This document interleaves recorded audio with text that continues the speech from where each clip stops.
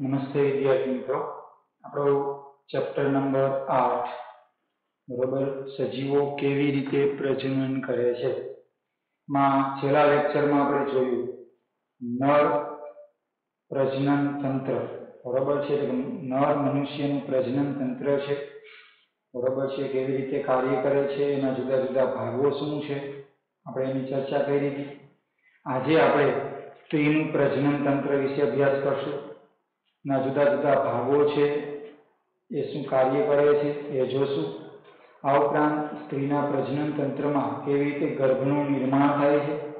ત્યારબાદ બાળકનો જન્મ, ગર્ભના નિર્માણથી બાળકના જન્મ સુધીની જે ક્રિયા છે, એ કેવી રીતે બરોબર થાય છે, એ આપણે જોશું. તો સૌપ્રથમ આપણે વાત કરીએ સ્ત્રીનું પ્રજનન તંત્ર. પુરુષના પ્રજનન તંત્રની છેલ્લે આપણે ચર્ચા કરી. બરોબર છે? અને નર જનન કોષો છે કેવી રીતે નિર્માણ પામે છે, કેવી રીતે એનું વહન થાય છે, એ ચર્ચા કરી આજે સ્ત્રીના પ્રજનન તંત્રમાં જુદા જુદા ભાગો, બરોબર છે? બરોબર. ત્યાર પછી માદા જાતિ અંતસ્ત્રાવો, માદા જનન કોષો, કઈ દિશામાં કયા અંગ દ્વારા નિર્માણ પામે છે? આપણે જોઈએ. તો સૌપ્રથમ સ્ત્રીનું જે પ્રજનન તંત્ર છે માં કયા કયા ભાગોનો સમાવેશ થાય છે? તો સ્ત્રીનું પ્રજનન તંત્ર છે, એને આપણે સૌપ્રથમ આકૃતિમાં સમજી લઈએ, એટલે આપણે આવડી જશે. સૌપ્રથમ જોઈએ તો આ જે રચના છે, એ સ્ત્રીનું પ્રજનન તંત્ર છે. સ્ત્રીના પ્રજનન તંત્રની જો આપણે વાત કરીએ, તો તેની ઉદર ગુહામાં, બરોબર? સ્ત્રીના ઉદર ગુહામાં એક જોડ અંડપિંડ હોય. એક જોડ અંડપિંડ છે. અને આ અંડપિંડ છે એ અંડકોષોનું નિર્માણ કરે છે. અંડકોષો એ માદા જનન કોષો છે. બરોબર છે? આ ઉપરાંત અંડપિંડ છે એ માદા જાતીય અંતસ્ત્રાવનું પણ શું કરે છે? નિર્માણ કરે છે.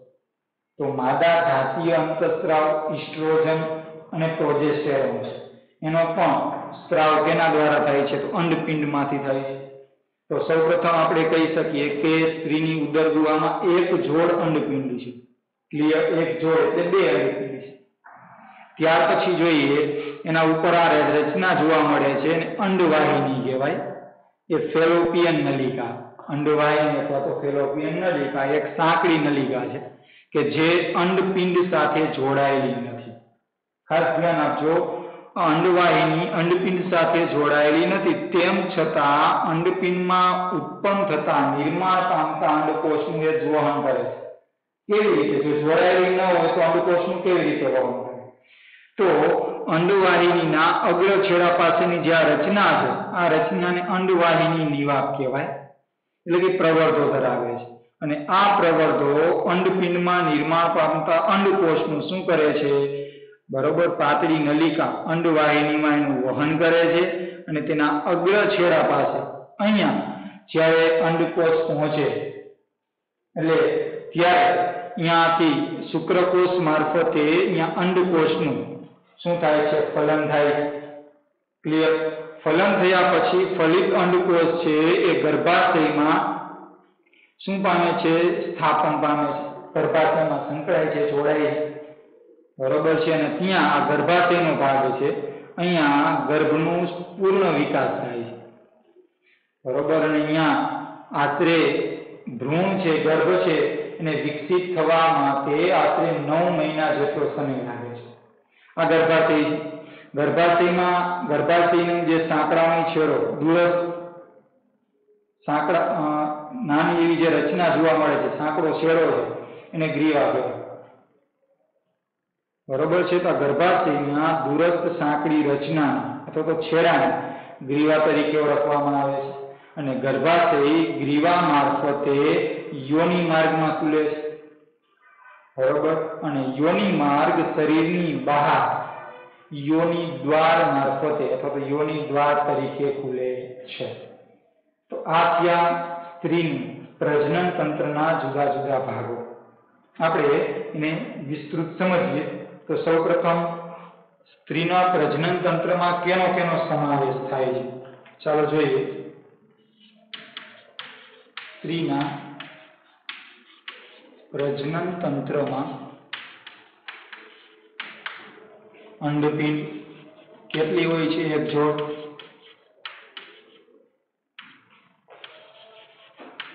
અંડવાહિની આને આપણે જો જોડ સહિત લખવું હોય તો આપણે આખું કન્ટિન્યુ લખીએ. એક જોડ અંડપિંડ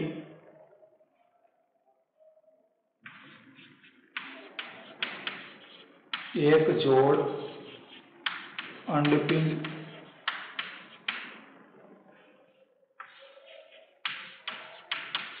એક જોડ અંડવાહિની ત્યાર પછી જોઈએ તો ગર્ભાશય. બરોબર છે, ત્યાર પછી ગ્રીવા યોની માર્ગ. અને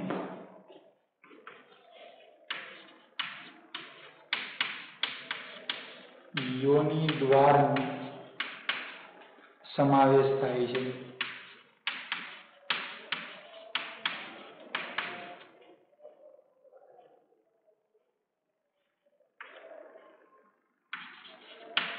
ક્લિયર વિદ્યાર્થી મિત્રો તો આ વાત થઈ સ્ત્રીના પ્રજનન તંત્રના જુદા જુદા ભાગો કે જેનો સમાવેશ થાય એમાંનો સૌ પ્રથમ ભાગ ખૂબ જ અગત્યનો અંડપિંડ ચાલો આપણે એની વાત કરીએ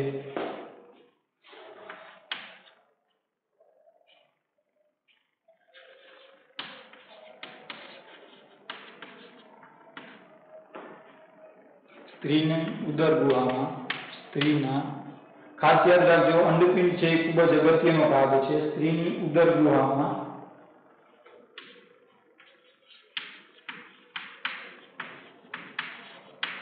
કેટલા અંડપિંડ હોય છે? તો સ્ત્રીની ઉદર ગુહામાં એક જોડ અંડપિંડ.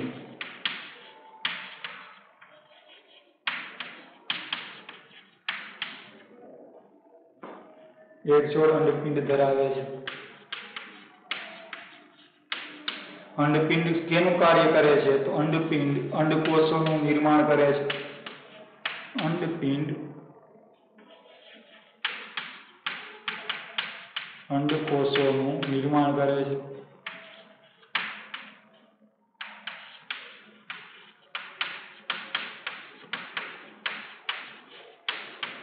બરોબર, તો ખાસ યાદ રાખજો કે અંડપિંડમાં અંડકોષોનું નિર્માણ થાય છે. આ ઉપરાંત તે માદા જાતીય અંતસ્ત્રાવ. અને માદા જાતીય અંતસ્ત્રાવ. ઇસ્ટ્રોજન અને પ્રોજેસ્ટેરોનનો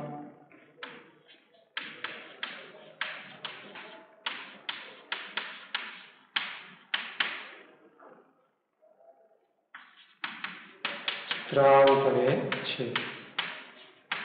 ક્લિયર તો અંડપિંડ છે અંડકોષોનું નિર્માણ કરે છે. સાથે સાથે માદા જાતીય અંતસ્ત્રાવ, ઇસ્ટ્રોજન અને પ્રોજેસ્ટેરોનનો પણ શું કરે છે? સ્ત્રાવ કરે છે. જેમ આપણે નર જાતીય અંતસ્ત્રાવ, ટેસ્ટોસ્ટેરોનનું નિર્માણ કરે છે. બરોબર છે કે જેને આપણે શુક્રપિંડ કહેતા હતા? શુક્રપિંડ છે એ નર જાતીય અંતસ્ત્રાવ નિર્માણ કરે છે. એમાં અંડપિંડ છે, એ માદા જાતીય અંતસ્ત્રાવ ઇસ્ટ્રોજન અને પ્રોજેસ્ટેરોનનું શું કરે છે? સ્ત્રાવ કરે છે. આ ઉપરાંત છોકરીનો જ્યારે જન્મ થાય, બરોબર છે, છોકરીના જન્મ સમયે જ અંડપિંડની અંદર, આ અંડપિંડમાં હજારો અપરિપક્વ, જોજો પરિપક્વ નહીં, કારણ કે જે બાળક છે. તો હજારો અપરિપક્વ અંડ અંડપુટિકા છે એ હોય છે. અને જ્યારે છોકરી યુવાવસ્થામાં પહોંચે છે, તરુણાવસ્થાએ પહોંચે છે, ત્યારે એમાંના કેટલાક અંડકોષો છે એ પરિપક્વ થવાની શરૂઆત કરે છે. બરોબર? અને બંને અંડપિંડ છે.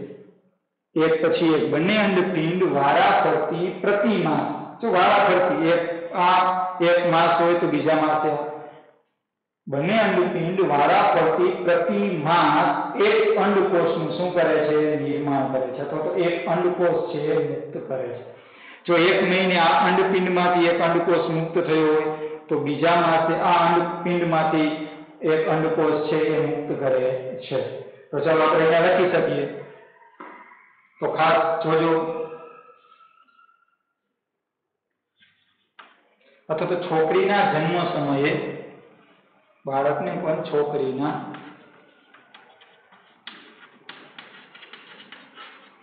જન્મ સમયે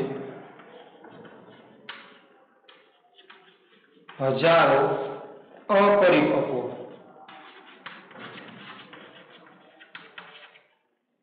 છોકરીના જન્મ સમયે હજારો અપરિપક્વ અંડપુટિકા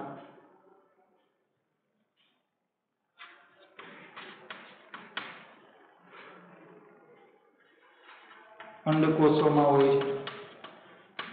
અંડપિંડમાં હોય છે.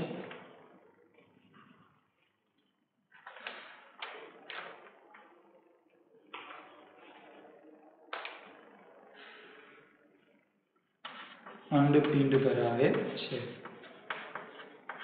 જોજો ખાસ કે જ્યારે છોકરીનો જન્મ થાય, આ સમયે હજારો અપરિપક્વ અંડપુટિકા અંડપિંડ ધરાવે છે.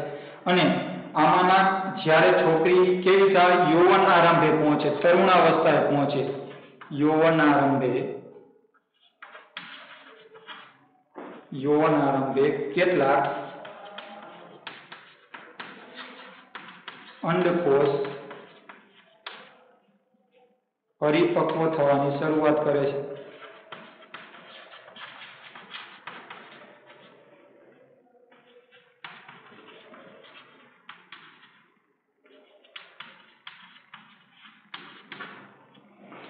બરોબર છે? જ્યારે છોકરીનો જન્મ થાય, આ સમયે હજારો અપરિપક્વ અંડપુટિકા હોય છે, જે અંડપિંડમાં હોય. અને છોકરી જ્યારે તરુણ અવસ્થાએ પહોંચે યુવાન યુવક આરંભ પહોંચે ત્યારે એમાંથી કેટલાક અંડકોષો છે પરિપક્વ થવાની શરૂઆત થાય છે. અને બંને અંડપિંડ વારા ફરતી પ્રતિ માસ એક અંડકોષ છે મુક્ત કરે છે. બરોબર છે? તો ખાસ જોજો. બંને અંડપિંડ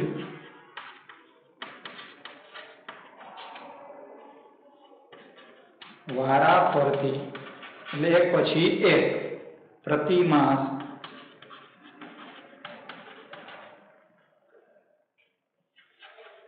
એક અંડકોષ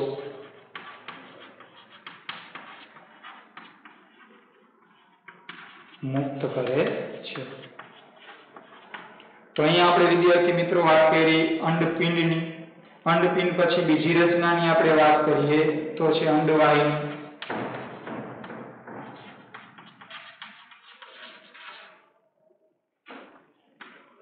તો અહીંયા આપણે અંડવાહિની જોઈએ છીએ. એક જોડ અંડવાહિની આવેલી છે કે જે અંડપિંડ સાથે જોડાયેલી નથી. બરોબર છે? તો અહીંયા આપણે લખશું એક જોડ અંડવાહિની.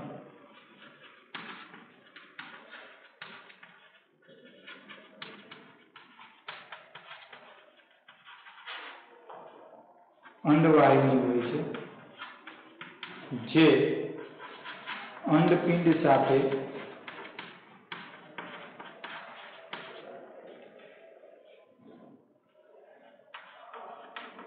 જોડાયેલ નથી.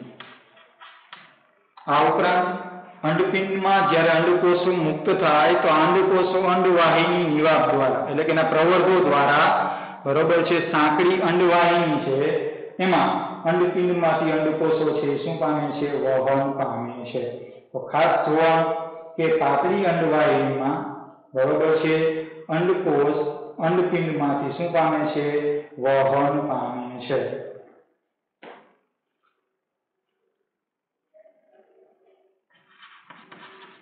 પાતળી અંડવાહિનીમાં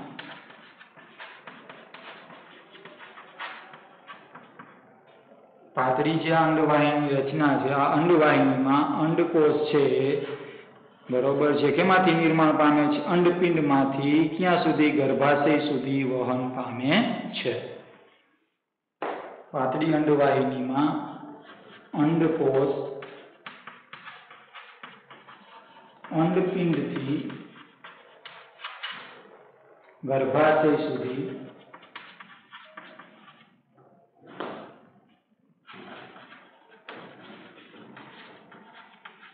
વહન પામે છે.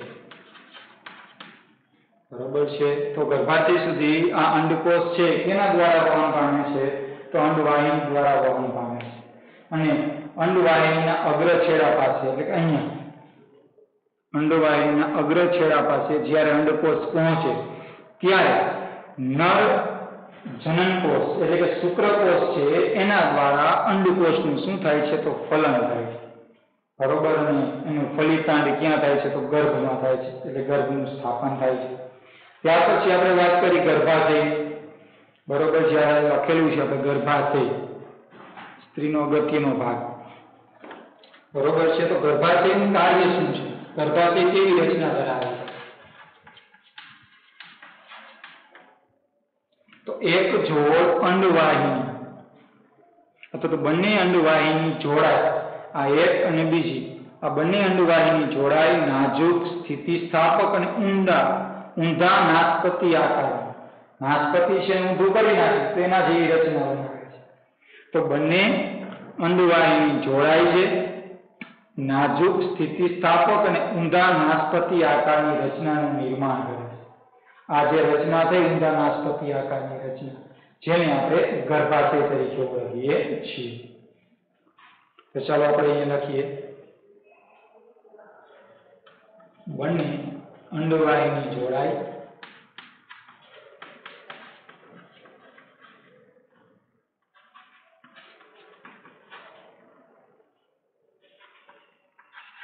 નાજુક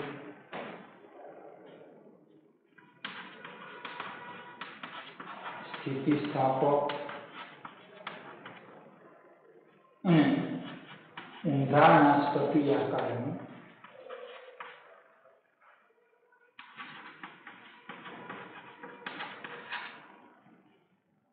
જેવી રચનાનું નિર્માણ કરે છે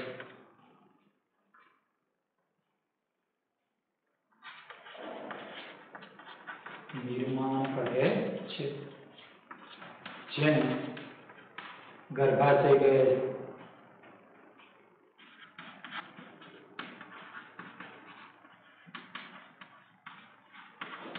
છે ક્લિયર તો ગર્ભાશયની આપણે વિદ્યાર્થી મિત્રો વાત કરી. ગર્ભાશયની રચના કેવી છે? તો બંને અંડવાહિની જોડાય, નાજુક સ્થિતિસ્થાપક અને ઊંધા નાસ્પતિ આકાર જેવી રચના બનાવે જેને ગર્ભાશય કહેવાય.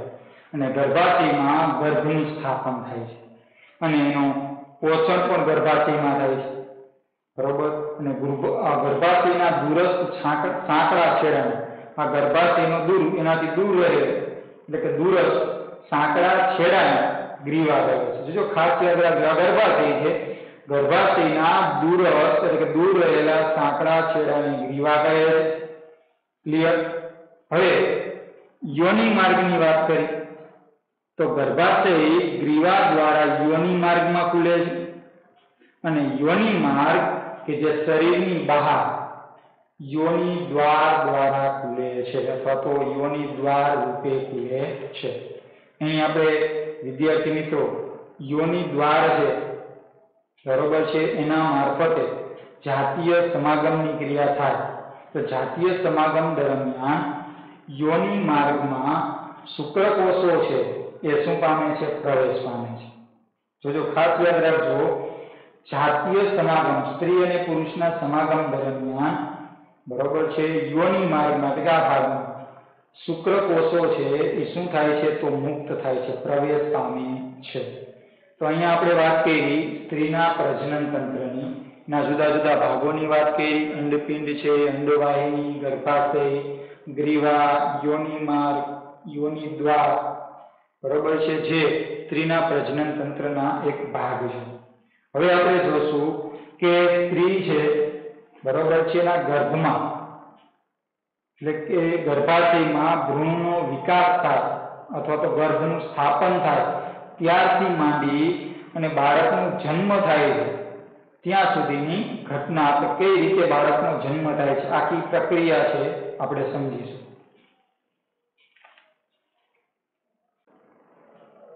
ગર્ભસ્થાપનથી બાળ જન્મ સુધીની જે પ્રક્રિયા છે, એ પ્રક્રિયા હવે સમજીએ. આપણે સ્ત્રીના પ્રજનન તંત્રની સંપૂર્ણ વાત કરી. હવે આપણે ગર્ભનું સ્થાપન થાય ત્યારથી બાળકનો જન્મ થાય છે, ત્યાં સુધીની સંપૂર્ણ પ્રક્રિયા આપણે જોઈએ. બરોબર છે? તો આપણે આકૃતિ દ્વારા એને સમજશું.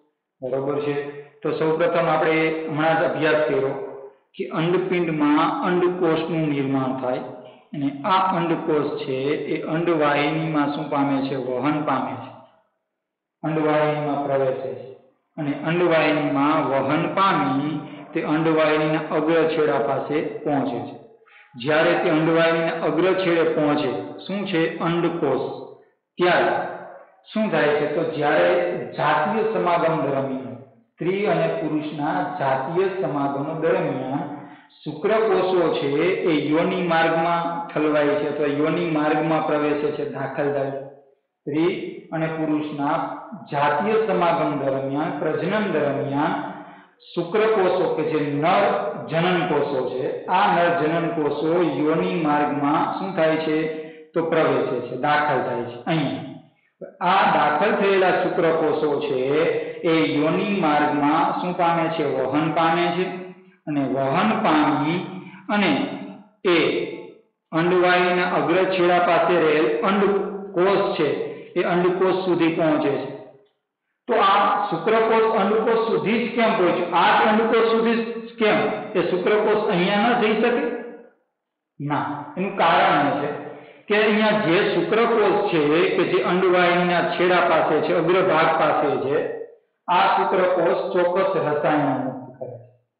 આ રસાયણો જ્યારે ગર્ભાશય થઈ અને યોની માર્ગ સુધી પહોંચે છે, એવા જ રસાયણો અહીંયા મુક્ત થતા શુક્રકોષ કે જે નર જનન કોષ છે. બરોબર છે પુરુષનો. આ શું થાય છે? તો એ જ રસાયણો ધરાવે છે. એટલે શુક્રકોષ છે એ રસાયણો જે દિશામાંથી આવે છે, એ દિશામાં શુક્રકોષો શું પામે છે? પ્રચલન કરી અને અંડકોષ સુધી પહોંચે છે. અને અંડકોષ છે એનું શું કરે છે? ફલન કરે છે. એટલે અહીંયા આપણે જોઈએ તો અંડકોષો છે એ અંડકોષ સોરી શુક્રકોષો છે એ અંડકોષ સુધી પહોંચે છે. અને અંડકોષનું શું કરે છે? ફલન કરે છે. તો ખાસ ધ્યાન આપજો. શુક્રકોષો અહીંયાથી વહન પામે છે ઉપર તરફ અને અહીંયા રહેલા અંડકોષ છે, અંડકોષનું શુક્રકોષ વડે શું થાય છે? ફલન થાય એટલે અહીં ફલિત અંડકોષ, કેવો અંડકોષ કહેવાય? ફલિત અંડકોષ છે, બરોબર છે, એ વિભાજનની શરૂઆત કરે છે. ફલિત અંડકોષ ફલિતાંડ કહી શકીએ આ ફલિત અંડકોષ છે વિભાજનની શરૂઆત કરે એક કોષમાંથી બે બે માંથી ચાર. અનેક કોષોમાં નિર્માણ પામે છે. અને આ કોષના જથ્થા જેવી રચના બને, જેને આપણે ગર્ભ તરીકે ઓળખીએ છીએ. ગર્ભનું નિર્માણ થાય છે. આ ગર્ભનું અહીંયા નિર્માણ થયા પછી ગર્ભનું શું થાય છે? સ્થાપન થાય છે. બરોબર છે? અહીંયા શું થયું? તો અંડકોષનું ફલન થયું. આ ફલિત અંડકોષ વિભાજનની શરૂઆત કરે છે. વિભાજનની શરૂઆત થતા કોષોનો સમૂહ બને છે. કોષોની એક જથ્થા જેવી રચના બને છે, જેને આપણે શું કહીએ છીએ ગર્ભ તરીકે ઓળખીએ છીએ. આ ગર્ભ છે એ ગર્ભાશયના અંત આવરણમાં શું પામે છે? સ્થાપન પામે છે. આ ગર્ભાશયનું અંત આવરણ છે. તો ગર્ભાશયના અંત આવરણમાં અંદરના આવરણમાં ગર્ભનું શું થાય છે? સ્થાપન થાય છે. અહીંયા ગર્ભ સતત વૃદ્ધિ પામી અને સંપૂર્ણ શું થાય છે, ભ્રૂણ વિકસિત થાય છે. અહીંયા ગર્ભ છે એ વૃદ્ધિ પામે છે અને વૃદ્ધિ પામી અને સંપૂર્ણ વિકસિત ભ્રૂણ અહીંયા બને છે. અને ગર્ભાશય છે એ ગર્ભને ધારણ કરવા માટે અને ગર્ભને પોષણ પૂરું પાડવા માટે પ્રત્યેક મહિને ચોક્કસ તૈયારી કરે આ ગર્ભાશય છે, એ ગર્ભને ધારણ કરવા માટે તેમજ ગર્ભને પોષણ પૂરું પાડવા માટે પ્રત્યેક માસ દરેક મહિને ગર્ભાશય છે, ચોક્કસ તૈયારી કરે છે. તો કેવી તૈયારી કરે છે? તો એની તૈયારી કેવી છે? તો ગર્ભાશય છે, એની દિવાલો જાડી બને છે. આ ઉપરાંત જે વિકસિત ભ્રૂણ છે, આ ભ્રૂણને પોષણ પૂરું પાડવા માટે રુધિર છે, એ કેવું બને છે? પુરવઠા સભર બને છે. અંદર રહેલું જે રુધિર છે એ કેવું બને છે? પુરવઠા સભર બને છે. જેથી કરી જે વિકસિત ભ્રૂણ છે, આ વિકસિત ભ્રૂણને રુધિરમાંથી જરૂરી પોષક દ્રવ્યો છે, એ ભ્રૂણને આપી શકીએ. તો આ રુધિરમાંથી જરૂરી પોષક દ્રવ્યો ભ્રૂણ સુધી કઈ રીતે પહોંચે છે? કારણ કે ભ્રૂણમાં રહેલું જે ડીએનએ છે રુધિર છે, એ જ રુધિર, માતાનું રુધિર હોવું જરૂરી નથી. જોજો બધાના બ્લડ ગ્રુપ સેમ હોતા નથી. માતાનું જે બ્લડ ગ્રુપ છે, એ જ બ્લડ ગ્રુપ બાળકનું ભ્રૂણનું બ્લડ ગ્રુપ હોય એવું જરૂરી નથી. એટલે રુધિરની અંદર રહેલા જે જરૂરી દ્રવ્યો છે, આ જ દ્રવ્યો ભ્રૂણ સુધી પહોંચે છે. વિકસિત ભ્રૂણ સુધી પહોંચે છે, નહીં કે રુધિર પહોંચે છે.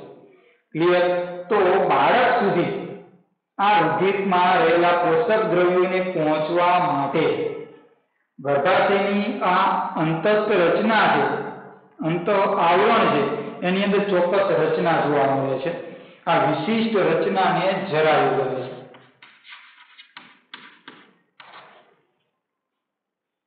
વિશિષ્ટ રચનાને શું કહે છે? જરાયુ.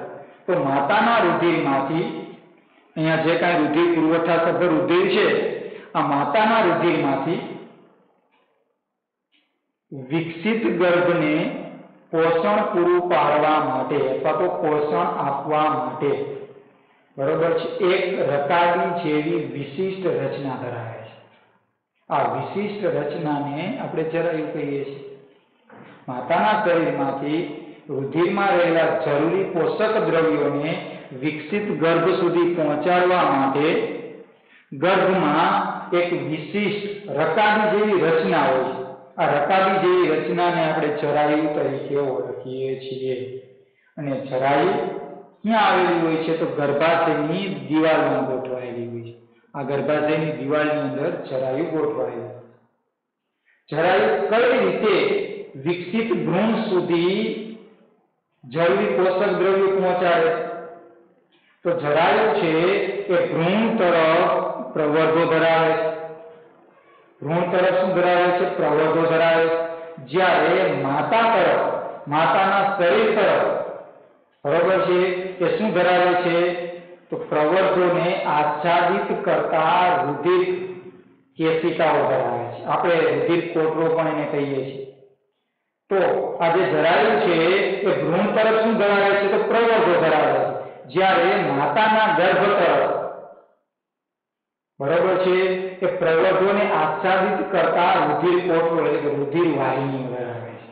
અને આ રુધિર વાહિની અને પ્રવર્ધો મારફતે રુધિરમાં રહેલા ગ્લુકોઝ અને ઓક્સિજન, ગ્લુકોઝ અને ઓક્સિજન,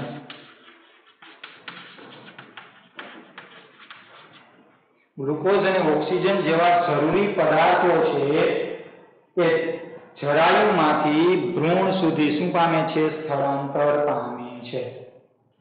એટલે માતાના રુધિરમાં રહેલા જે ગ્લુકોઝ છે, ઓક્સિજન છે, આ ઓક્સિજન જરાયુ મારફતે વિકસિત ભ્રૂણ સુધી પહોંચે છે. અને ભ્રૂણ છે એ આ બધું મેળવે છે. એટલે એના શરીરમાં શું થશે? ભ્રૂણમાંથી નકામા ઉત્સર્ગ દ્રવ્યનું નિર્માણ થશે. તો ભ્રૂણ છે, આ નકામા ઉત્સર્ગ દ્રવ્યો છે તે જરાયુ મારફતે ફરી પાછા માતાના રુધિરમાં પ્રવેશે છે. તો ભ્રૂણ દ્વારા નકામા ઉત્સર્ગ દ્રવ્યો જે કાંઈ ઉત્પન્ન થાય છે, આ ઉત્સર્ગ દ્રવ્યો જરાયુ મારફતે માતાના રુધિરમાં પ્રવેશે છે. અને માતાના રુધિર દ્વારા આ ઉત્સર્ગ દ્રવ્યો છે એનો નિકાલ થાય છે.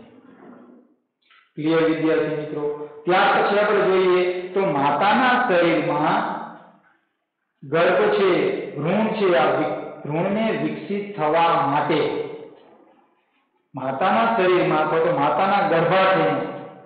ભ્રૂણને વિકસિત થવા માટે લગભગ અથવા તો આશરે નવ મહિના જેટલો સમય લાગે. આ દરમિયાન ભ્રૂણને સંપૂર્ણ રીતે પોષણ પણ મળે છે અને સુરક્ષા પણ મળે છે. એના ઉત્સર્ગ દ્રવ્યોનો નિકાલ પણ થાય છે. એટલે માતાના શરીરમાં ગર્ભને વિકસિત થવા માટે આશરે નવ મહિના જેટલો સમય લાગે.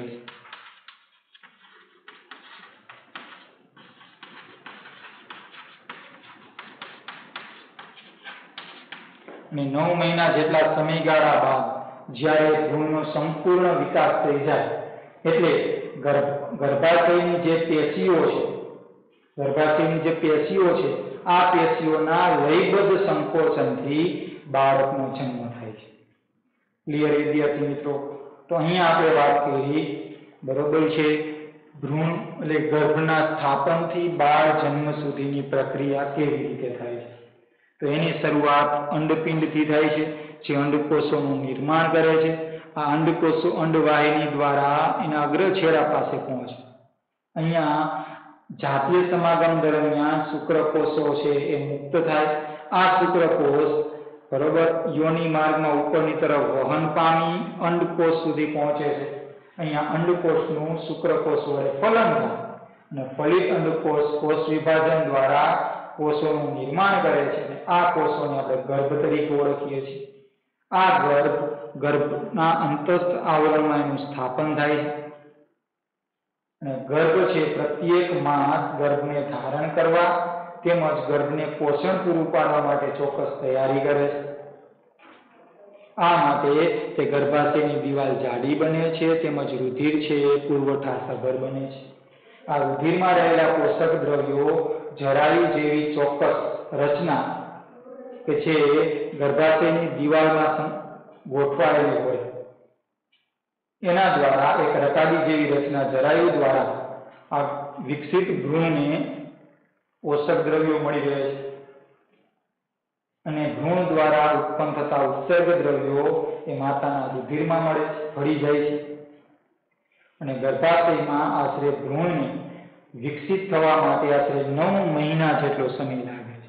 અને નવ મહિનાના અંતે ગર્ભાશયની પેશીઓના લયબદ્ધ સંકોચનથી બાળકનો જન્મ થાય છે. તો અહીં વિદ્યાર્થી મિત્રો, આપણે ગર્ભ સ્થાપનથી બાળ જન્મ સુધીની પ્રક્રિયા સંપૂર્ણ સમજાય માસિક ચક્ર, ઋતુસ્ત્રાવ અથવા તો રજોધર્મ. માસિક સ્ત્રાવ અથવા તો માસિક ચક્ર, એવી જ રીતે ઋતુ ચક્ર કહી શકાય. આ ત્રણેય શબ્દ એક સેમ છે, જે સ્ત્રીમાં જોવા મળે છે. માસિક સ્ત્રાવ અથવા તો માસિક ચક્ર એટલે શું? ઋતુસ્ત્રાવ એટલે શું? કેને કહેશું. આપણે સમજીએ તો છોકરીઓ જ્યારે દસથી બાર વર્ષની થાય, છોકરીઓ જ્યારે દસથી બાર વર્ષની થાય આ સમયગાળો એ છોકરીઓ માટેનો તરુણાવસ્થાનો સમયગાળો છે. એટલે છોકરીઓ જ્યારે તરુણ બની તરુણાવસ્થાએ પહોંચે, ત્યારે તેમાં માસિક ચક્ર છે એની શરૂઆત થાય છે. માસિક ચક્ર છે એનો સ્ત્રાવ થાય છે. તો માસિક ચક્ર છે એ કેવી રીતે નિર્માણ પામે છે? એની વાત કરીએ. તો છોકરીઓમાં જ્યારે માદા જાતીય અંતસ્ત્રાવો છે, આ માદા જાતીય અંતસ્ત્રાવોને કારણે અંડપિંડની અંદર રહેલા અંડકોષો છે એ પરિપક્વ બને છે. માદા જાતીય અંતસ્ત્રાવો, ઇસ્ટ્રોજન અને પ્રોજેસ્ટેરો કે જેને કારણે અંડપિંડની અંદર રહેલા અંડકોષો પરિપક્વ બને છે.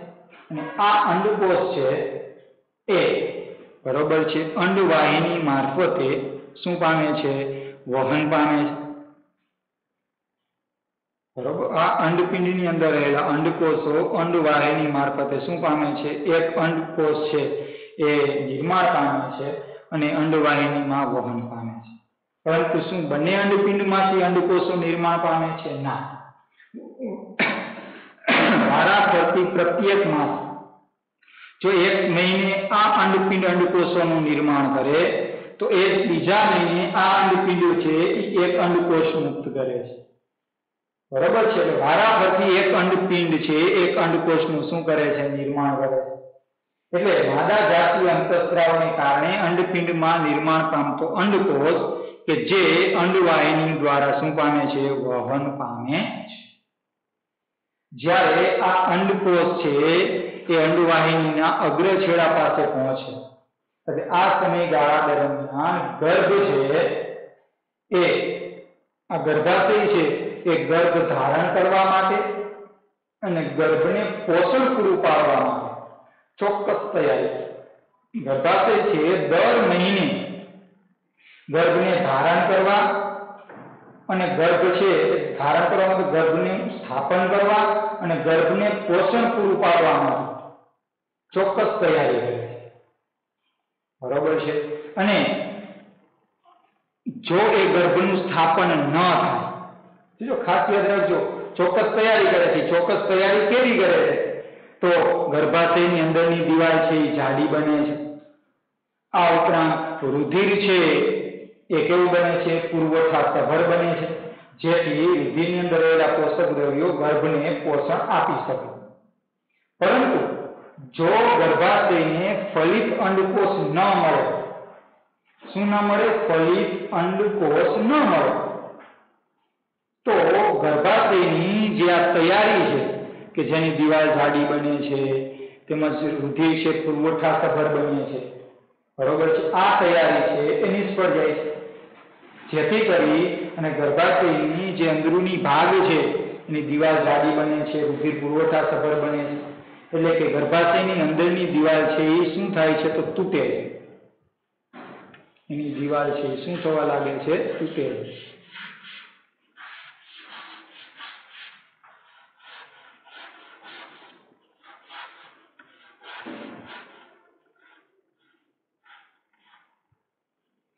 અને રુધિર સ્ત્રાવ કે પછી શ્લેષ્મ સ્વરૂપે તે શરીરની બહાર યોની માર્ગમાંથી આ રુધિર સ્ત્રાવ બહાર આવે છે. જેને આપણે માસિક સ્ત્રાવ કે પછી ઋતુસ્ત્રાવ અથવા તો માસિક ચક્ર તરીકે ઓળખીએ છીએ. બરોબર છે? અને આ માસિક સ્ત્રાવ છે, એના સમયગાળાની અવધિ છે. એ ત્રણથી પાંચ દિવસની હોય છે. કેટલા દિવસની? ત્રણથી પાંચ દિવસની અવધિ હોય છે. આ માસિક સ્ત્રાવ બંધ થાય. બરોબર છે? એટલે ફરી ગર્ભાશય છે એ ગર્ભને ધારણ કરવા અને ગર્ભને પોષણ આપવા માટે ફરીથી તૈયારીઓ શરૂ કરે છે. એટલે ગર્ભાશયની અંદરની દિવાલ જાડી બને છે, રુધિર પુરવઠા સભર બને છે. અને જો ફરી ગર્ભાશય છે, એને ફલિત અંડકોષ ન મળે. એટલે ફરી પાછું ગર્ભાશયની દિવાલ તૂટે છે અને રક્તસ્ત્રાવ અને શ્લેષ્મનો સ્ત્રાવ થાય છે. આ રક્તસ્ત્રાવ અને શ્લેષ્મનો સ્ત્રાવ છે એ યોની માર્ગ દ્વારા શરીરની બહાર નીકળે છે. જેને આપણે માસિક સ્ત્રાવ તરીકે ઓળખીએ છીએ. અને પ્રતિ માસ અઠ્યાવીસથી ત્રીસ દિવસે પ્રત્યેક મહિને પ્રતિ માસ અઠ્યાવીસથી ત્રીસ દિવસે માસિક સ્ત્રાવ જોવા મળે છે. જ્યારે ગર્ભનું સ્થાપન થાય છે, બરોબર છે, ત્યારે માસિક સ્ત્રાવ અથવા ઋતુ ચક્ર છે એ શું થાય છે, તો અવરોધ થાય છે.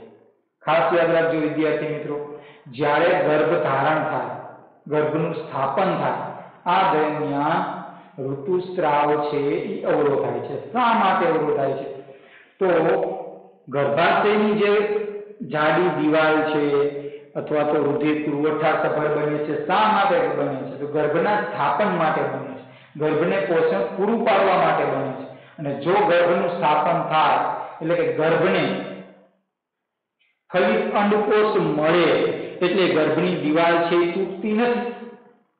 જો એને ફલિત અંડકોષ ન મળે અઠ્યાવીસ દિવસે, તો અંડ આ જે દિવાલ છે એ તૂટે છે અને એનો રક્તસ્ત્રાવ સ્વરૂપે તે શરીરની બહાર નીકળે છે.